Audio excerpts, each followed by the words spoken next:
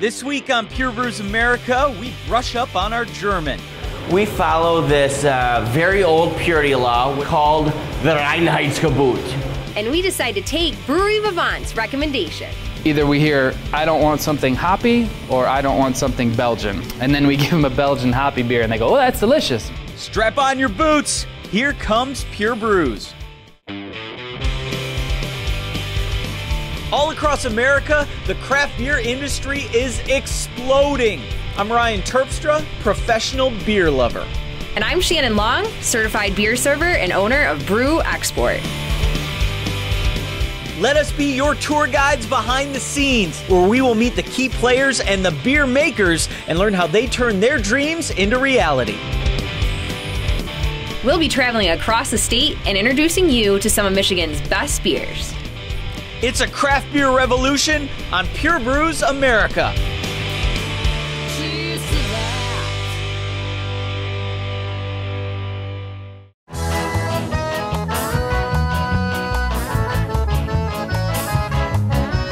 So today we have an oldie and a goodie. Not only can you satisfy all your touristy desires here in downtown Frankenmuth, but you can drink some great beer as well.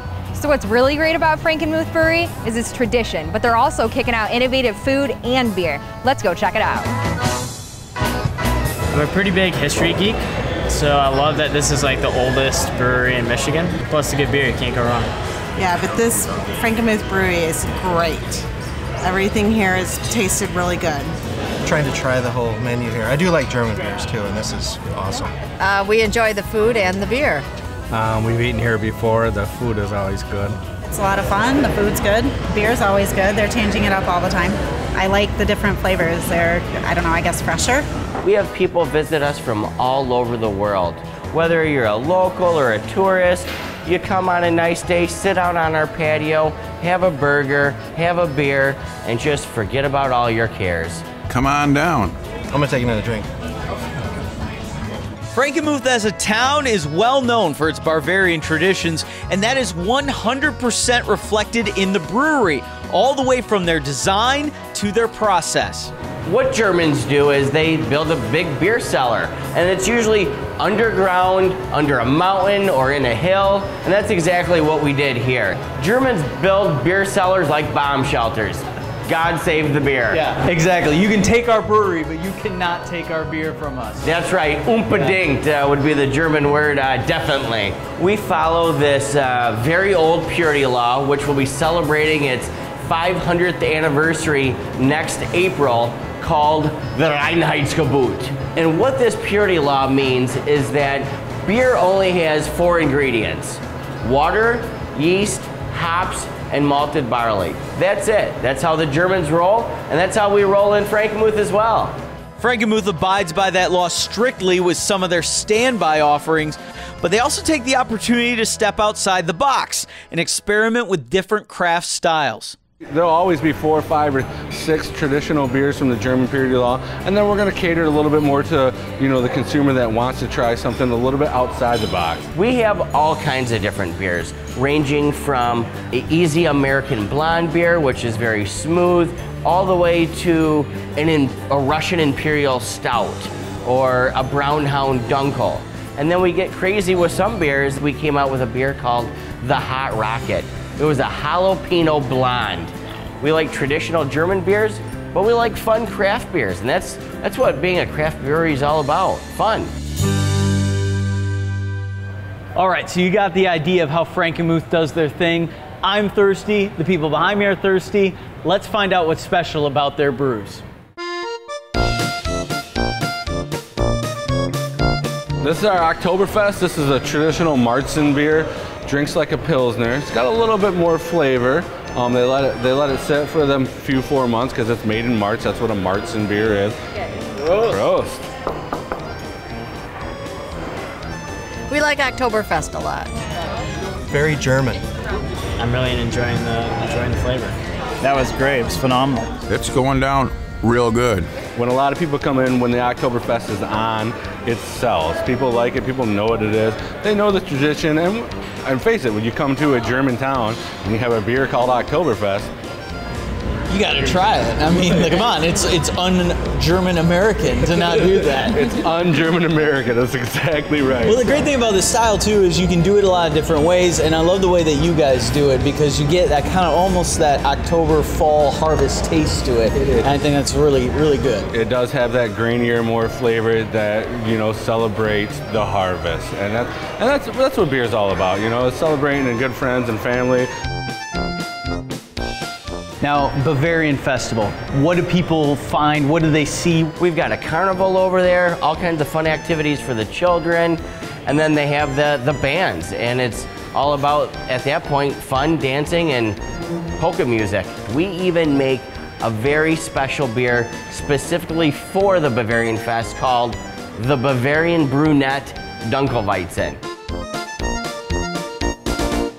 One of the great things about uh, being a brewery and, uh, and being a restaurant is that we focus a lot on beer-centric foods. You know, we'll take our bratwurst and we'll marinate it in the Pilsner. We have a beer cheese soup. We have a beer cheese pizza. Any excuse to, to drink beer, we do, but any excuse to, to drink and eat food with beer in it, also great.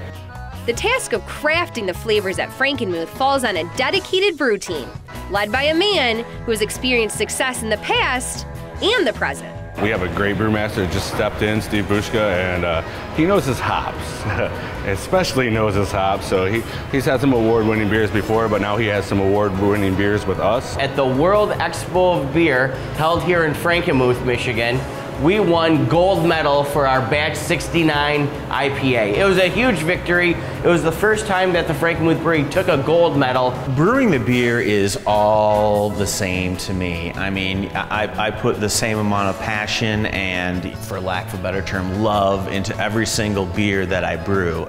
So we are going to try some batch 69.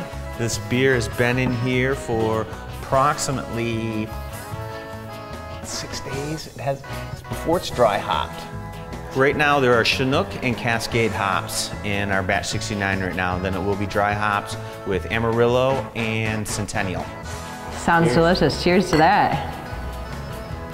Steve redid this beer, um, and when he redid it, he dry hopped it, you know, threw some hops in the fermentation tank and uh, brought that big flavor out. And since he's done it, it's a staple.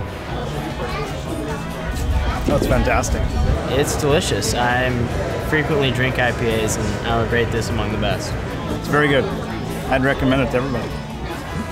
It is now our flagship beer. It was the Pilsner before, but now we, you know, nationwide, everybody's a hophead. It just the, the, the, bouquet up front and a lot of bitterness, but you know, smooth at the finish. Um, yeah, it's one of my favorites, and obviously it's one of um, everybody else's favorite too, since it's won the gold medal. So I had a great time today trying some old stuff and some new stuff. We shared some great beers. Cheers to Frankenmuth. Or should we say? Prost. Prost. Coming up next on Pure Brews, if you want to make great beer, you need the right ingredients. You know, that's kind of our thing is that we're small and, and tactical and able to, to pivot pretty quickly and listen to what our customers want. We visit a custom malting facility in Byron Center. Amanda makes a delicious beer flavored dessert and we check out the unusual housing at Brewery Vivant. And a lot of people, including my wife, walk in here like, that's never gonna work. But I walked walked in like, this will be perfect. That's all coming up next when we return to Pure Brews. Pure Brews America is presented to you by Meijer, where you can choose from over 200 Michigan craft beers. Ever since we first opened our doors, we've been committed to developing relationships with the very best local farmers. Because we thought that would be a sensible way to offer our customers the best, freshest produce at the lowest possible prices. Now, 80 years later, this whole locally grown thing has gotten pretty fashionable. Whoever thought common sense would be so cool, hip, and trendy? Come see for yourself. At Lawrence Technological University, you'll go way beyond the books. Professors with real world experience deliver hands on instruction in small classes, helping students land co ops, internships, and research projects. By graduation, 80% of LTU students have jobs or plans to pursue master's degrees. And most Lawrence Tech grads earn more than their peers. So if you're ready to embrace your possibilities, we want you at LTU.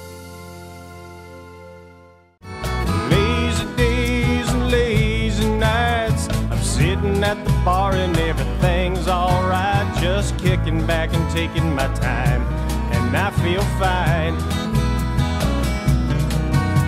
Cause all I need is some fresh brewed beer, some good live music's all I wanna hear.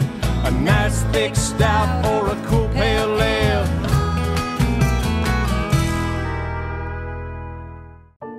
Before you choose a luxury SUV, stop by Hoot McInerney Star Lincoln and drive the amazing new Lincoln MKX. It's a stunning new expression of luxury with inspired performance and design and a long list of standard features. The all new Lincoln MKX, now available at Hoot McInerney Star Lincoln, 12 Mile Road just east of Telegraph. Best price, smart choice, and you get the star treatment.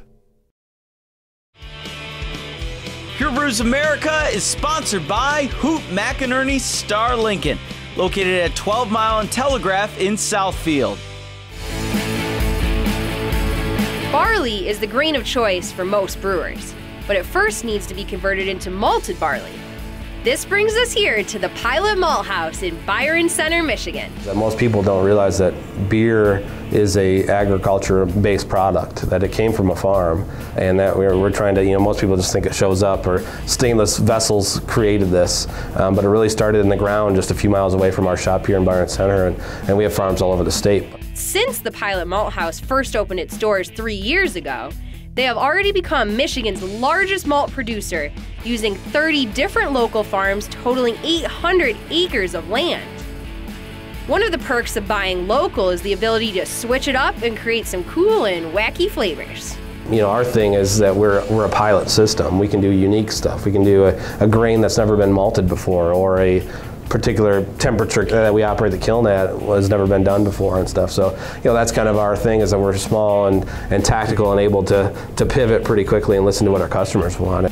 Despite the recent trend of IPA drinkers and hopheads, Eric reminds us that malt is here to stay. Well, most people don't realize, malt is the color, it's largely the flavor profiles other than bitterness and it's also the alcohol content when, when used in cohort with, with yeast. So it's, it's the backbone of beer, no matter what the hop guys will tell you. The idea for the Pilot Malt House stemmed from brewers not knowing exactly where their ingredients came from. And now, Eric's mission is to bring everyone in the beer process together. If you go and ask any of these breweries, you know, where do they buy their malt from? And they say the company name. I'm like, where is it grown? Blank stare. We're relationship people as much as we're malt manufacturers because we try to bring to the same pub table the, the brewer, uh, the maltster, which is us, and then the farmer. The hyperlocal appeal of buying Michigan malt is one that rings familiar with many breweries. You know, when you go to buy a craft beer, you could get beer cheaper. You're not very price conscious when it comes. If you're a craft beer drinker, you're, you know you know you could drink, drink something cheaper, but you're doing the right thing and, and choosing taste, and that's the, kind of the same thing for us. I don't think it's any coincidence either that you know we have the best water there is, and you know you throw some water, throw some some locally grown hops, some locally sourced malt, and then some yeast, you get some pretty damn good beer.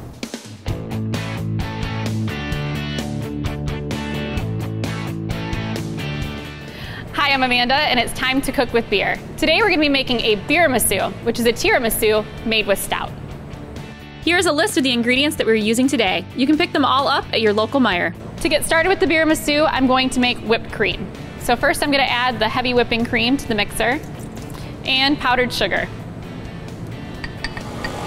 Now I have it cranked up to high, we're just going to let the mixer do its job. So now that I have stiff peaks on the whipped cream, I'm going to add that to our mascarpone cheese.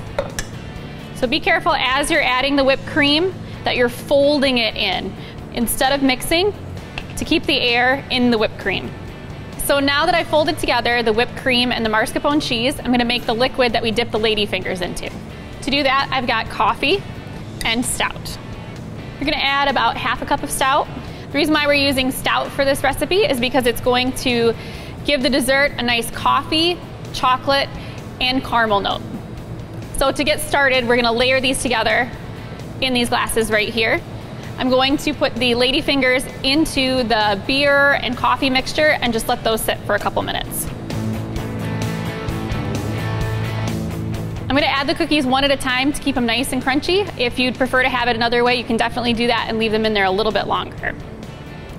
So here I'm just mixing on both sides and adding it to the bottom. Now that we have a layer of the cookie in there, I'm going to go ahead and add a layer of our filling.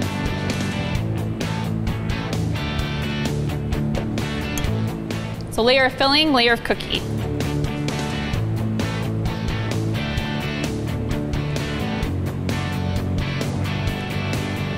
I recommend refrigerating for at least 40 minutes before serving. To garnish the tiramisu, I like to do some dark chocolate shavings on top.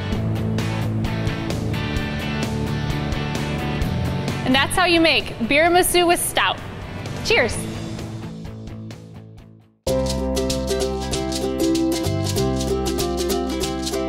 At Pure Brews America, we not only want to introduce you to all kinds of new beer, we want to make sure that you find the one that's right for you. And to do that, we're enlisting help from our friends at Meijer. They have over 200 Michigan craft beers to choose from, and they want to make it easy for you to find the beer that fits your taste. Whether you're making a shopping list at home or you're on your smartphone in the craft beer aisle, log on to Meijer.com slash selection. Now scroll down to the section titled Pick Your Pour. This brand new addition to the Meijer website uses eight different flavor profiles to sort the beers that Meijer carries in your local store. The different flavor styles are color coded, like this purple tab, where you'll find spiced and complex beers like Brewery Vivant's Farmhand. Or maybe you prefer a light and refreshing beer. Then Frankenmuth The Hef is a brand that will match your taste buds. So not only does Meijer have the lowest craft beer prices allowable by law, they also have the biggest selection, and they are making sure that you have the best possible experience when you shop there. Log on to Meijer.com slash selection and make sure you're getting the right beer for your taste buds using Pick Your Pour.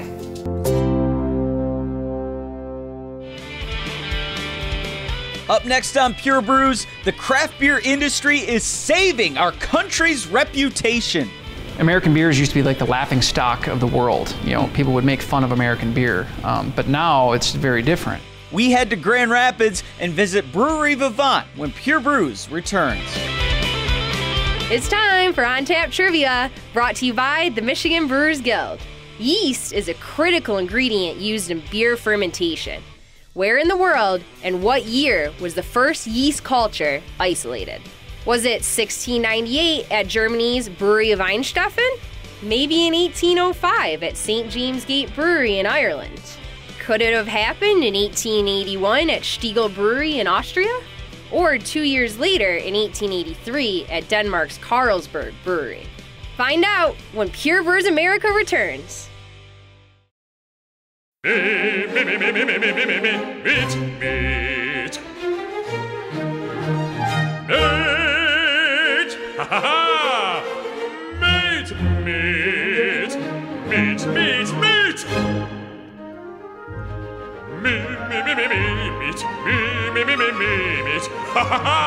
Meat, meat, meat, meat, meat. We're the Cronin Law Firm, bringing more to the table. When you sit down with attorney Sabrina Cronin and her law firm, they'll stand up for your rights. Backed by a full service investigative division, Cronin Law delivers results, whatever your legal issues may be. Your problems on the table, and see how much more Cronin Law can do for you. We're the Cronin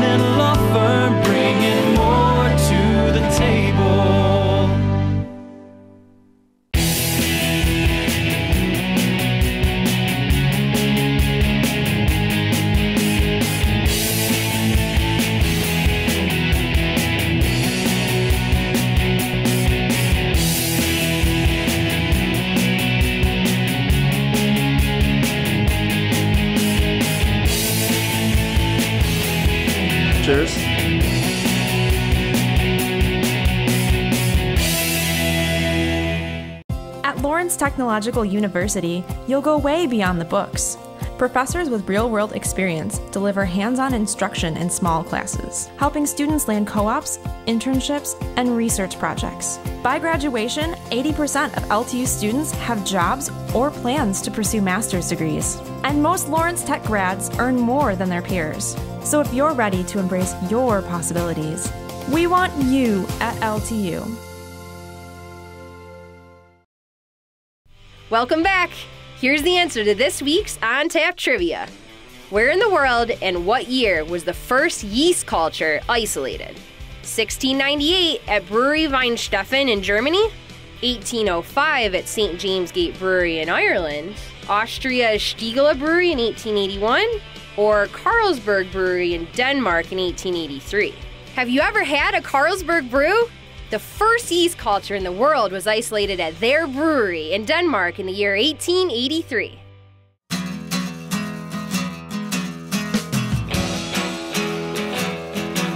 So I'm crazy excited to be here at Brewery Vivant today because I've never drank in a funeral parlor before. Yeah, this building behind us is 100 years old in a historic area in Grand Rapids, and now it's a place where people come to celebrate, so let's go check it out. My friend told me it was a funeral home, but we found out it was actually a chapel when the funeral home was like next door. And a lot of people, including my wife, walked in here like, that's never gonna work. But I walked walked in like, this will be perfect. It'll be a pub. We'll put the bar there. Well, it's beautiful. You know, it's kind of different, but uh, what they did with it was really great. It's a little different, but it definitely gives it that Belgian feel, the old world feel. Brewery Vivant has only been open about five years, but already they're a staple in the Grand Rapids beer scene. We had some time off, and we wanted to jump up here to Grand Rapids because we knew it was a beer town of the Midwest, right? They call this the center of the universe, and it, it is for Grand Rapids, I think. Yeah, the biggest compliment we, we get is when people have company in town, they live in Grand Rapids, and they want to show them what Grand Rapids is all about, they bring them here. You come on a day like today when it's everything is perfect, the beer is perfect, and uh, it's a good day. And the fans of Vivant will tell you why they are always dragging their friends to this place. Brewery Vivant is the place that made me like beer. So, you know, the Belgian style and the crafted just, you know, it's my first love. Yeah, I spend more time here than I do with my family for the most part, but that's all right. I get enjoyment out of seeing people enjoy what we do every day. Either we hear, I don't want something hoppy, or I don't want something Belgian. And then we give them a Belgian hoppy beer, and they go, oh, that's delicious. And we go, yeah, because it's right. We've been to Belgium a couple times, so it's it, it compares. It's like right on par. So it's it's fantastic. All of their barrel aged stuff is just amazing. I always ask because it's constantly changing and it's always a new uh, something new to try. I love all their beer. It's very diverse. It's very original. They come out with new things so often that uh, I always like to try different things that they have all the time. Each of their beers have their own twist, American twist on it, which makes it you know a little bit more special. There's got to be something on the menu that you're gonna like. Two thumbs up. I don't know. If you like Belgian beers, this is a must stop. Um, it's just a unique experience. It's different from every other kind of brewery I've been to. Well, if you like uh, good atmosphere, people that treat you real good, uh, great beer and great food, uh, this is the place to come.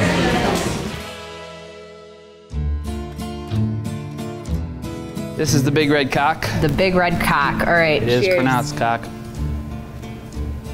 That was a, a pub one-off. We never thought we'd make it again. We, we had a lot of fun with the name. Uh, you know, Big Red Coq.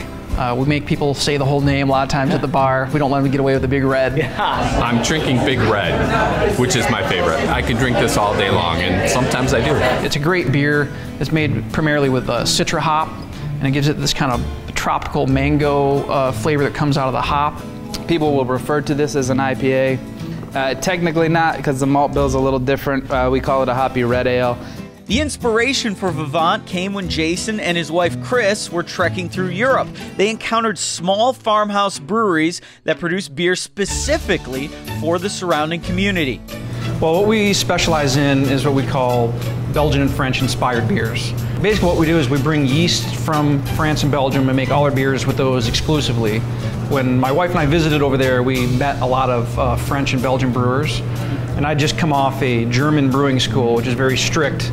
Then you go into Belgium and France, and these brewers are pretty free. It's more a very artistic approach. They have complete trust in us, complete faith in us, so we have free rein to do anything we want to do. You know, these guys have so many ideas for beers, like we have to kind of contain them. You know, we're not trying to take over the world here. We're not going to make, you know, a million IPAs with, you know, 200 IBUs. That's not what that's not our style. That farmhouse ingenuity led to the crafting and naming of a Vivant flagship brew. So this is the farmhand. Uh, nice kind of cloudy farmhouse ale. You get lemon, you get a little zip. It's it's one of these beers that that works really well as an introduction to craft beers. Starting with something light like the farmhand was definitely a way to go. There's huge depth to the flavor, and you can't beat it, really.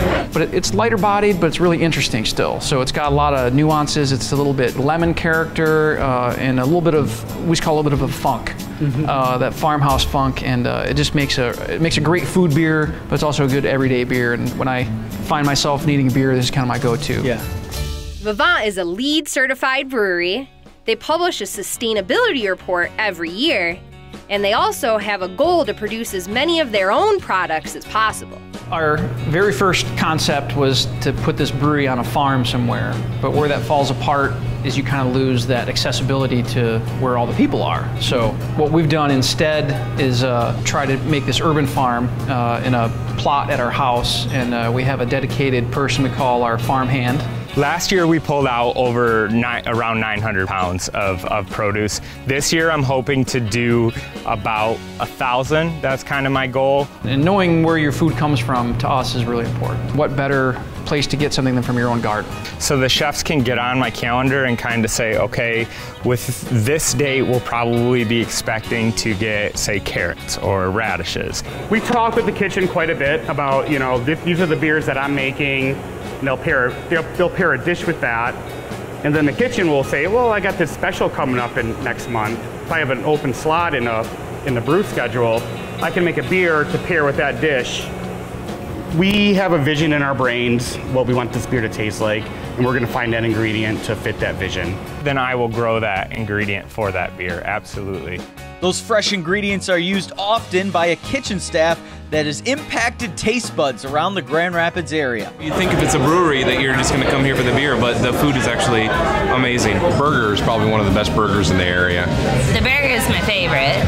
Can't go wrong with the burger, and they always have great specials. You could just have the food and it'd be great. You could just have the beer and it would be great. But we really try to ask, again, ask questions. And if we could marry those together in a pairing, it kind of elevates the enjoyment of, of both those things, the food and the beer. That's that experience moment where it really makes an impact and people, it kind of, it can blow people's mind. Jason, thanks so much for having us for Brewery Vivant. We had a great day. Thanks for coming out today. But uh, before you go, I got one more surprise for you. The end of every hard day deserves Das Boot. Oh my goodness. Four liters of fun. All right. We're going to fill that up. Thanks for watching Pure Brews.